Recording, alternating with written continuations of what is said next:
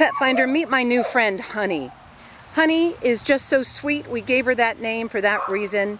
She's a, a lovely young girl who's probably about two to three years of age, and now that she's stood up and showed you her waistline, you can see that Honey has been a mother very recently.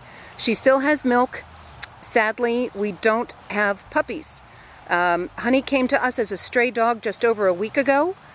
Uh, without puppies, without a collar, without tags or a microchip, no lost report that matches, nothing. So we're at a loss to reunite her um, with her children. So unfortunately, um, we can't solve the puppy mystery, but we can make sure that we do right by this girl. Um, we will, of course, once she's over her maternity leave, so to speak, we will be able to get her spayed so she's never a mom again give her all her shots and, and microchip her so she's never lost again. Um, she's a lovely, gentle girl. We have no problem taking food or treats away from her. She likes men, she likes women. Um, she loves attention and affection. She met this young man tonight and already they're in love. Um, so very agreeable and easy to be with.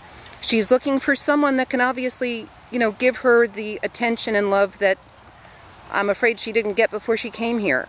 So um, you are welcome to meet her 6.30 p.m. to 8 p.m. Monday through Friday, Sunday 12 to 4. Uh, you're also welcome to fill out an application on our website and uh, we invite you to come and meet Honey. Hi pretty girl.